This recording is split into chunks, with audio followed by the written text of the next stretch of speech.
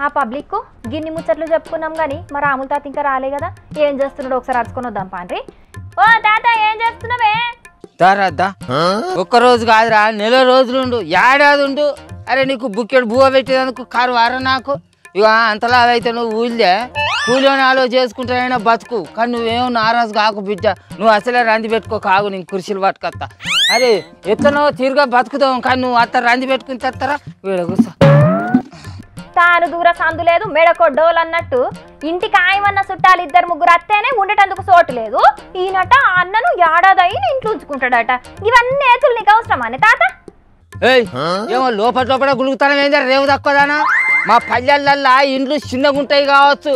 కానీ మా పల్లె మనసులల్లా హృదయాలు విశాలంగా ఉంటాయి అదే మీ పట్టణాలల్లో ఇల్లు విశాలంగా ఉంటాయి వాళ్ళ హృదయాలు మాత్రం ఇరుకుగా ఉంటాయి కారా ఓ గిసుంటి చెప్పు మాట పొద్దంతా చెప్తావు కానీ ఇంతక అన్నకి ఏమైందని గంతగానం ధైర్యం చెప్తున్నావు చెప్పు. కొంపదీసి పెళ్ళంతోని లొల్లి గిట్ల పెట్టుకొని వచ్చిండా? ఏంది అన్న? అరే ఎప్పుడు చూడు ఈ పెళ్ళం మొగల పంచాలు తప్ప నీకు ఏరే యావే ఉండదు. అరే రేవు తక్కువదానా? మేలోరు వందానా? తుంట కొక్కులు ఎక్కుండి పొద్దంతా ఫుట్టుగా తాగేటోళ్ళకు గా పంచాదులు లేకుంటే ఇంకేం పంచాదులు ఉంటాయే మరి? రేవు తక్కువదానా? వీడు మా ఊళ్ళో ఓ ఐదారేళ్ళ కిందట ఉన్నప్పటి ముచ్చట అది. కానీ ఇప్పుడు హైదరాబాద్లో ఒక మంచి ఇల్లు కొనుక్కొని పెళ్ళం పిల్లలతో అక్కడనే ఉంటాండి అంచను. ఎరికాడా నీకు? మరి అన్నెందుకు గంతగానం రందితోనున్నాడు? నువ్వెందుకు గంతగానం ఓదార్చుతున్నావు రేవంతాల్ సార్ సర్కారు మొదలు పెట్టిన హైడ్రాల? హైదరాబాద్లో వీడు కట్టుకున్న ఇల్లును కూడా కూలగొచ్చిరట పిల్ల. కనీసం ఇంట్లున్న సామాన్లు కూడా చదువుకొని వెళ్ళేదట పాపం బిడ్డంది. అందుకే తట్ట బుట్ట చదువుకొని మళ్ళీ మన సొంతూరికే వచ్చిండు. ఊకోర వెనుకటేసి ఊక ఊకోర అంది పెట్టుకోకు. అవునే పాపం. హైదరాబాద్లో హైడ్రా కూల్చివేతలల్లా ఇండ్లు కోల్పోయిన చాలా మంది పబ్లిక్ పుట్టెడు దుఃఖంతో తనలాడుతున్నారే. అరే అది కాదు పిల్ల. ఇల్లు అనేది ప్రతి ఒక్కల జీవితంలో ఒక పెద్ద కళ. అసొంటి కళను కండ్ల ముంగట్టిన ముంగట్నే కూలగొడతాంటే వీళ్ళు ఎంత దండలాడి ఉంటారు చెప్పు. అది కాదు మరి మీ ఇండ్లు కూలగొడతానమని కనీసం ఒక్క మతలావు కూడా చెప్పలేదట వీళ్ళకు. ఇదేనా ఈ సర్కార్ పద్ధతి? అవునే చాలా మంది గిదే మొత్తుకుంటున్నారు. కనీసం మాకు నోటీసులు కూడా ఇత్తలేరు అని.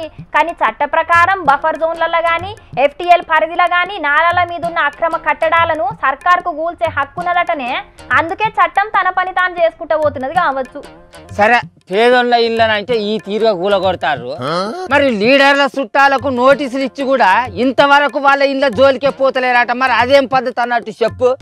ఏమో ఆ సంగతి అయితే నాకు తెలియదు కానీ మన ముఖ్యమంత్రి రేవంత్ సార్ అయితే ఈ ముచ్చట్ల వెనుకకు తగ్గేదే లేదంటున్నాడు మరి. దుర్మార్గులు ఆక్రమించుకున్న చెరువుల వల్లనే ఇవాళ వరదలు వస్తున్నాయి.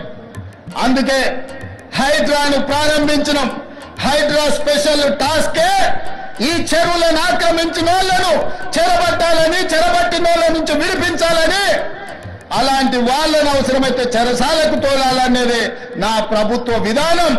అయ్యా ఆక్రమించుకున్న చెరువులను మీరే వదలండి. గౌరవంగా పక్కకు కప్పుకోండి. నీటిపారుదల శాఖకు అప్పగించండి. మీకేం కావాలనో పోయి దూరంగా కట్టుకోండి. లేకపోతే ఉన్న పలంగా నేల మట్టం కూలుతాయి. కూలగొట్టే బాధ్యత నేను తీసుకుంటా. ఇలా ఎఫ్టీఎల్లో కానీ బఫర్ జోన్లో కానీ నాలలో అక్రమంగా నిర్మాణాలు ఏవైతే ఉన్నాయో వాటన్నిటినీ నిరభ్యంతరంగా మేము తొలగిస్తాం. మీరు ఎక్కడికి వెళ్ళినా మీరు తాత్కాలికంగా కోర్టుల నుంచి ఏమన్నా తెచ్చుకున్నా న్యాయ స్థానాలలో కూడా కొట్లాడి ఆ స్టేలను వెకేట్ చేయించి మీరు ఆక్రమణలు తొలగిస్తాం. చూసినవా ఏ మీరు కోర్టు కన్నా వండ్రి ఏమన్నా చేసుకోండి కూలగొట్టుడైతే పక్కా అని అంటున్నాడుగా అదే సీఎం సారు. సర్కారు చేస్తున్న ఈ పనిని చూసి మెచ్చుకోవాలనో లేకపోతే ఇండ్లు కోల్పోయిన వీళ్ళని చూసి బాధపడాలనో అర్థమైతలేదు. ఇక వీడైతే నలభై యాభై లక్షల రూపాయలు బ్యాంకులో లోన్ తీసుకొచ్చుకొని కట్టుకున్నాడు ఆ ఇల్లును. మళ్ళీ అదే ఇల్లును కళ్ళ ముంగట కూలగొచ్చిరి ఇప్పుడు ఆ బ్యాంకులో లోన్ ఎవడు కట్టాలి? వీడు ఏ ఇంట్లో ఉండాలి చెప్పు వీని కర్మ ఎవ్వలకు చెప్పుకోవాలి ఇక. ఏం చేస్తామే మరి? ఒక మంచి పని చేయాలంటే కొంతమందికి అన్యాయం జరుగుతుంది తప్పదు మరి. తప్పది అని నువ్వు నేను మాట్లాడుకుంటేందుకు మంచిగానే ఉంటది. కానీ పోయిన సర్కారులేమో ఆ పర్మిషన్లు ఇస్తే ఇప్పుడు వచ్చిన సర్కారేమో ఆ గూలగొట్టవచ్చు. మరి ఆ పాపం ఎవ్వరిది పాలకులది కాదా? ఆ పర్మిషన్లు ఇచ్చిన అధికారులది కాదా? అంటే పాపమేమో వాళ్ళు చేస్తారు శిక్షనేమో వీళ్ళు అనుభవించాలా? ఇల్లు కోల్పోయి? ఇదేనా పద్ధతి? ఇదేనా తరికా? అవునే చాలా మంది ఇండ్లు కోల్పోయిన వాళ్ళు గిదే మొత్తుకుంటున్నారు. అప్పుడే ఈ జాగలల్లో ఇల్లు కట్టుకునే అర్హత లేదంటే మేము కట్టుకోకపోదుము. అసలు ఈ జాగల్నే మేము కొనుక్కోకపోదుము అని మొత్తుకుంటున్నారే. కాదా మరి? మున్సిపాలిటీ ఏమో పర్మిషన్లు ఇచ్చిరి బ్యాంకు వాళ్ళు ఏమో అప్పులు ఇచ్చిరి ఇప్పుడు వచ్చిన సర్కార్ ఏమో ఆయనలను కూలగొట్టబచ్చిరి మరి అప్పుడు ఆ అప్పులు ఎవరు కట్టాలి? ఇల్లు కోల్పోయిన ఈ జనాలు ఏడ బతకాలే. చెప్పు. నువ్వే చెప్పు. ఆ. పది మంది పాపం తల పిరికెడన్నట్టు ఎవడో కబ్జాదారు అమ్మిన ప్లాట్లను కొన్నందుకు వీళ్ళు అనుభవించాల్సి వస్తున్నది. ఎవరేం చేస్తారు చెప్పు? చెప్పేది లేదు చేసేది లేదు. ఇప్పటికైనా సర్కారు ఆలోచన చేసుకోవాలి.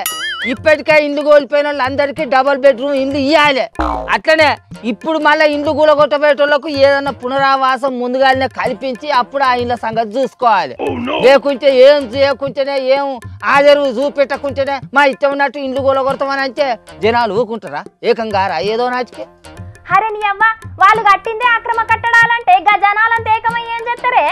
అరే అవి అక్రమ కట్టడాలు అన్న సంగతి అది వరకు పాలించిన సర్కార్లకు తెలియదా ఆ పర్మిషన్లు ఇచ్చిన అధికారులకు తెలియదా ఇప్పుడు వచ్చిన సర్కారుకు కూడా తెలియదా ఇప్పుడు మేము వచ్చి మా ఇష్టం ఉన్నట్టు ఇండ్లు కూలగొడతాం డబల్ బెడ్రూమ్ ఇల్లు ఇస్తాం అని అంటే కోట్ల ఇల్వ చేసే ఇండ్లు కూలిపోయినాక వాళ్ళకు డబల్ బెడ్రూమ్ ఇల్లు ఏం చేసుకుంటారు చెప్పు.